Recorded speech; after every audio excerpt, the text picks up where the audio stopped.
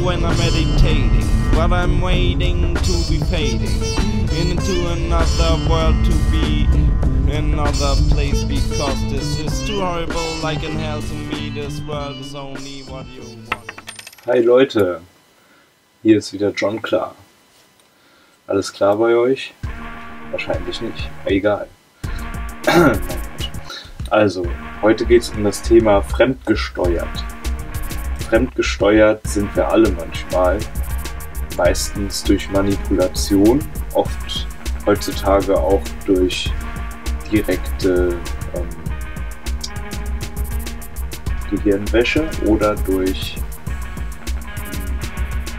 durch Hypnoseformen, die eben über Bildschirme und diverses ähm, verbreitet werden, auch über Geräusche, über Radio und so weiter. Wir werden massiv manipuliert und unter ständigem Angstdruck gehalten. Das ist Teil unseres Systems, in dem wir momentan leben. Das heißt unseres System, des Systems, das die Elite im Prinzip etabliert hat. Ähm, ja, also wir sind es halt auch von Grund auf gewohnt, ähm, unfrei zu sein. Ähm, kriegen ja schon als Kind beigebracht, dass wir immer auf unsere Eltern hören müssen, was äh, in manchen Fällen auch gut ist, aber eben nicht in allen. Und ähm, natürlich ist unsere ganze Welt auch sehr subtil militarisiert worden. Ja, zum Beispiel ähm, Videospiele und diverse Filme sind eigentlich alle militärisch in irgendeiner Form. Es geht immer um ähm, Kriminelle, es geht um Straftaten, es geht um Mord und so weiter. Das ist natürlich auch klar, weil es passiert ja auch viel in der Welt, nur ähm, es ist vielleicht auch nicht richtig, den Fokus immer wieder nur darauf zu lenken. Ja, also so sind wir es halt schon gewohnt, unfrei zu sein, äh, kriegen dann halt als Kind schon die ähm, Fantasie aberzogen, die Kreativität aberzogen. Wir sollen nur das machen, was ins Schema passt, damit wir auch gut eingeordnet und benutzt werden können von dem System, in dem wir später dann mal äh, funktionieren sollen, damit wir als Rädchen in diesem Hamsterrad dann auch mitlaufen können. Ähm, die, die das erfolgreich schaffen, denken zunächst, dass sie damit dann tatsächlich auch was Positives erreicht haben für sich, weil das geht ihnen ja auch zunächst erstmal gut. Aber spätestens dann, wenn ähm, es beginnt zu bröckeln, was im Moment halt überall passiert, merken die, oh, das war wohl doch nicht so gut. Und trotzdem sind sie ja darauf trainiert, auf diese, in diese Angsthaltung zu bleiben und sich von anderen fremdsteuern zu lassen, weil sie immer nach einem Führer suchen ähm, und sich nicht selbst führen können, beziehungsweise auch nie gelernt haben, von selbst, aus sich selbst heraus tatsächlich Entscheidungen zu treffen, ähm, gerade bei verantwortungsvollen Sachen, die eventuell auch ähm, schwere Entscheidungen sind, wollen die Leute am liebsten einfach, dass alle Entscheidungen für sie getroffen werden. Ähm, dabei habe ich mich auch selbst schon oft erwischt. Ja. Also die Menschen sind im Prinzip alle Erwachsene. Ja? Wobei Erwachsensein in dem Fall bedeutet, dass man einfach ein, ähm, eine Art Roboter ist, im Prinzip ein humanoider Roboter von äh, Geistesaufbau, der sich eben von anderen alles vorkauen lässt und das dann eben genauso nachkaut, wie die das vorgekaut haben, damit man auch genau das macht, was andere einem sagen. Und nirgendwo jemals auch nur ein kleines bisschen aneckt, weil wenn das passiert, dann ist es ja ganz schrecklich. Ja. Ähm, wohingegen ein Kind im Prinzip frei ist. Das Kind ist frei, das Kind ist ähm, unabhängig, es ist äh, im Prinzip um, ja, verlässt es sich auf sich selbst und äh, hat eigene Ideen, die aus sich selbst heraus erwachsen zum Teil. Ja, was eigentlich erwachsener ist als das andere, weil das andere ist eigentlich nicht erwachsen sein, sondern es ist eher ähm, tot sein, eine Maschine sein. Ähm, kindisch ist nicht das gleiche wie das Kind. Kindisch halt, also dass man kindisch ist, ähm, kommt im Prinzip daher, dass äh, im Prinzip das innere Kind unterdrückt wird. So, und Kinder werden auch nur dann im Prinzip sehr kindisch und ausfällig und frech ähm, und äh, machen lalalala, wenn sie sich entweder unterdrückt oder bedrängt fühlen oder wenn sie irgendein persönliches Ziel verfolgen und das eben äh, damit durchdrücken wollen, weil der Gegenüber ähm, sie nicht so akzeptiert, wie sie sind. Ja? Wenn man mit Kindern richtig umgeht, dann kann man auf eine sehr erwachsene Art und Weise mit jedem Kind umgehen.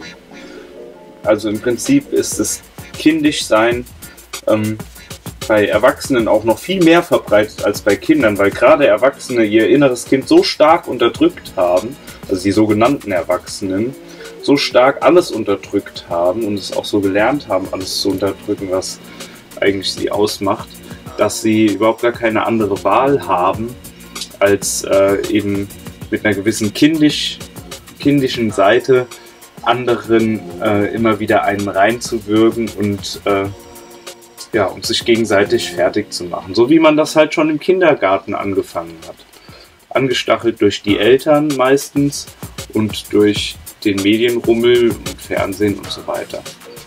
Ja, und das ist halt eine ganz, ganz äh, schwierige, vertrackte Situation, weil jetzt kommt eben noch die Komponente Faschismus hinzu. Und da die Leute ja auch schon solche Angst vor dem Krieg und vor Nazis und so weiter haben, vor lauter, lauter, ähm, ist es natürlich auch dann super einfach, die jetzt schon wieder zu manipulieren, sodass alle das machen, was ihnen gesagt wird, sodass sie auf gar keinen Fall was machen, was vielleicht ähm, diesem System nicht zuträglich ist.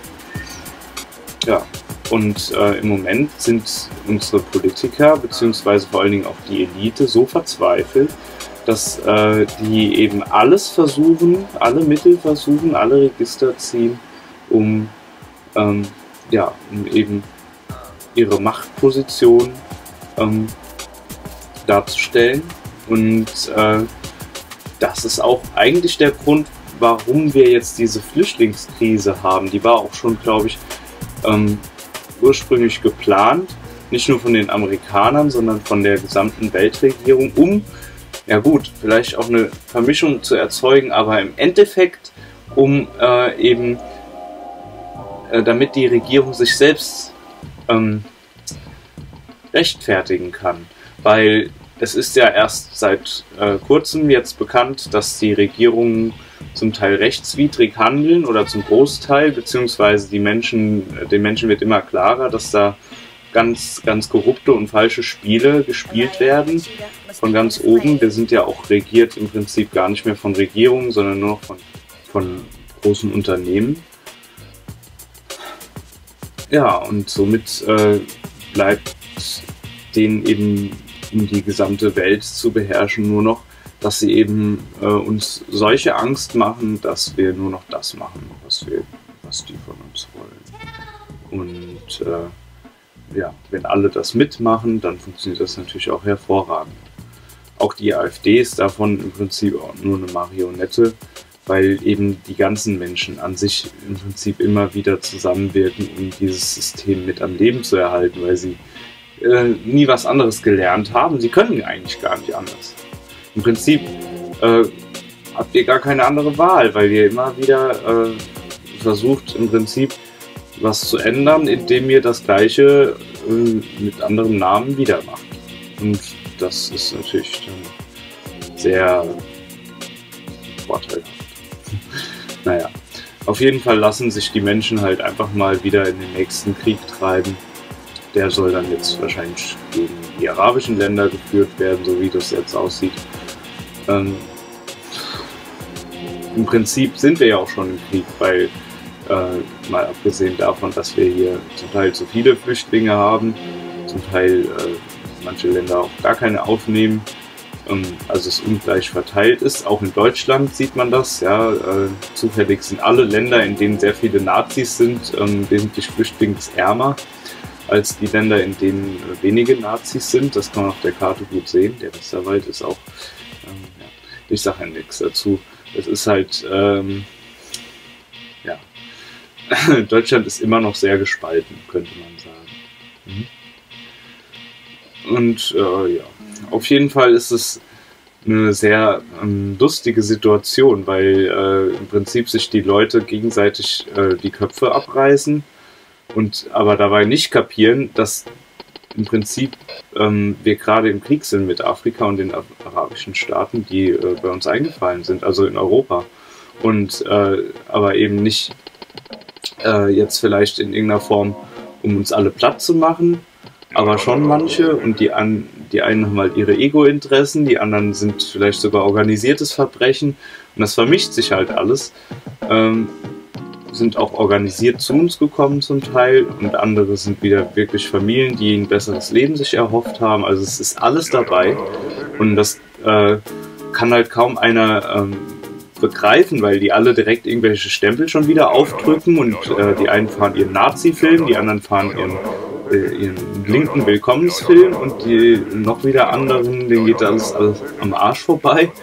Ähm, und äh, ja, und dann gibt es halt wieder welche, die vielleicht ähm, gehofft hatten, dass sich hier irgendwie politisch was ändert, dadurch, dass andere Leute hinkommen. Aber das Problem ist halt, die sind schlechter gebildet als wir. Das heißt, die sind auch manipulierbar. Jeder Mensch ist manipulierbar. Und das ist halt das Problem.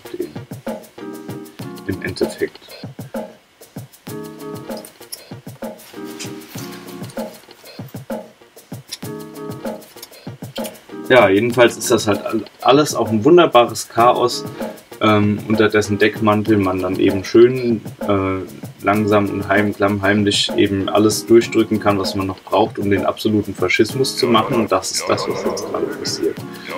Und dafür möchte ich, davor möchte ich euch jetzt warnen, noch einmal. Ähm,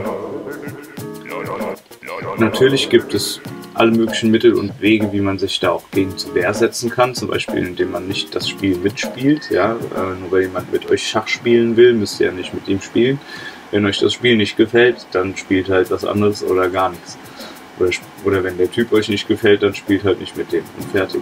Ja, das ist im Prinzip wie im Kindergarten, nur dass ihr jetzt die Wahl habt, jederzeit rauszugehen. Ihr braucht nicht auf eure Kindergärtnerinnen zu hören und ihr dürft jederzeit irgendwo anders hingehen und frei spielen. Ihr dürft auch da bleiben, wo ihr seid und da spielen, aber es hat halt die Konsequenz, dass ihr, wenn ihr da bleibt, eventuell Probleme mit den Kindergärtnern kriegt. Aber ihr habt jetzt die Wahl, jederzeit von euren Kindergärtnern wegzugehen. Und das ist der Unterschied. Allerdings weiß ich nicht, was das bringen soll. Ich bin der Meinung, wir sollten vielleicht die Kindergärtner einfach mal fesseln und denen mal sagen, was wir von denen wollen. Ne? So viel zum Thema jetzt ist Schluss mit dem Kindergarten. Ja, ähm, und was ich noch erwähnen wollte, sie haben uns aber gleichzeitig, obwohl sie uns unsere Fantasie nehmen wollten und uns vorschreiben wollen, was wir zu denken und zu fantasieren haben, ähm, gleichzeitig dumm und kindisch gehalten mit Absicht, auch durch Propaganda, damit eben unsere Generation ähm, sage ich mal, verweichlicht ist und leichter äh, durch Angst zu unterdrücken, weil nur wenn die Generation verweichlicht ist und wenn wir äh, überhaupt gar keine äh, Chance haben, ähm, den Mut aufzubringen, äh, eine direkte Konfrontation zu riskieren in irgendeiner Form, und ich meine nicht unbedingt Waffengewalt, ja, ähm, ja, oder selbst manchmal muss man auch Waffengewalt anwenden. Ja, also ich meine, äh, es kommt halt immer darauf an, wie weit die Schweine gehen und äh, wie weit man alles mit sich machen lassen will oder nicht. Ne? Also es gibt da die verschiedensten Varianten. Zum einen habt ihr die amerikanischen Gangster, die sagen halt, ja, pff, ist uns doch scheißegal, weg mit denen. Und dann gibt es halt die, ähm, ja, die Yoga-Leute, Ahimsa und so, die sagen, ja, ist egal, was die machen, ich lasse halt nichts, äh, ich äh, wehr mich nicht, ich lasse einfach alles geschehen. Ähm, und es ist seine Verantwortung, was er tut. Und äh, dann gibt es aber auch noch eine ganze Menge dazwischen. Und äh, ja, ich glaube auch nicht, dass es unbedingt gut ist, alles geschehen zu lassen, weil das ist auch eine New Age-Lüge, ja. Auch in Indien gab es Kriege und äh, daher stammt der Yoga, ja. Und äh, es ist ganz normal, dass man eben seine Schlachten im Leben auszufechten hat und dass dann auch ähm, Schäden nicht unbedingt zu vermeiden sind.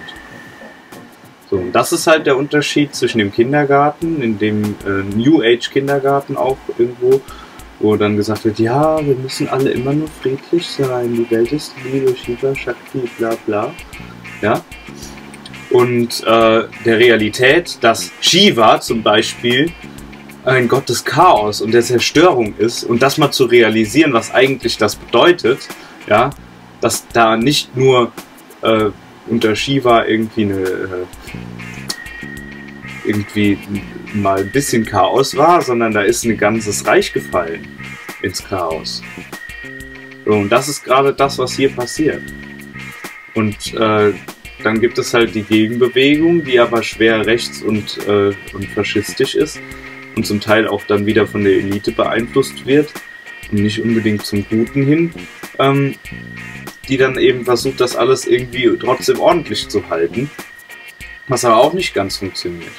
Womit allerdings die äh, spiritualistische Bewegung, sage ich mal, oder eine Lehre auch des Yogas und so weiter, Ahimsa, also Gewaltfreiheit, auch irgendwo recht hat, ist, man darf sich auf gar keinen Fall in Wut und Hass ähm, reindrücken lassen, zumindest nicht auf Dauer. Ich meine, jeder darf mal ausrasten. Es ist besser, ähm, mal kurz Dampf abzulassen, als alles zu unterdrücken. Aber man darf sich im entscheidenden Moment eben nicht durch Wut oder Hass leiten lassen, weil wenn der Moment eintritt, in dem ihr tatsächlich in Bedrängnis geratet und ihr werdet dann extrem wütend, habt ihr überhaupt gar keine Chance mehr, euch zu wehren. Ansonsten kann ich euch nur empfehlen, macht eine Patientenverfügung und verlasst so schnell wie möglich Europa. Ansonsten noch einen schönen Tag. Macht's gut. So, was ich noch erwähnen wollte, ähm, nein, ich habe kein Geld für noch mehr Licht. Ähm, ja, viele Menschen, die alternativ drauf sind, werden momentan schwer abgefuckt. Ähm, Querdenken TV wurde gehackt, Joe Kreisel wurde eingeknastet und so. Ähm, unter anderem noch ein Grund, warum ich das Thema jetzt auf jeden Fall bringe und äh, euch nochmal darauf aufmerksam mache. Das mit äh, Europa verlassen ist natürlich ähm, nicht hundertprozentig ernst gemeint. Ihr könnt auch hier die Stellung halten. Nur ähm, seid euch gewahr, dass die hier einen Krieg machen wollen. Und dass das auch ein richtiger Krieg wird, es sei denn, wir schaffen es tatsächlich irgendwie ähm, die daran zu hindern. Und ähm, dann äh, wollte ich noch sagen, also Patientenverfügung solltet ihr auf jeden Fall machen. Ansonsten und oder Europa verlassen. Okay. Wenn euch meine Videos gefallen haben, wenn ihr sie interessant findet oder vielleicht auf dem Laufenden bleiben wollt, dann abonniert meinen Kanal, so gebt mir einen Daumen hoch und vielleicht irgendwas. Ist mir eigentlich auch egal, ich mache das auch so trotzdem weiter. Ne? Ciao.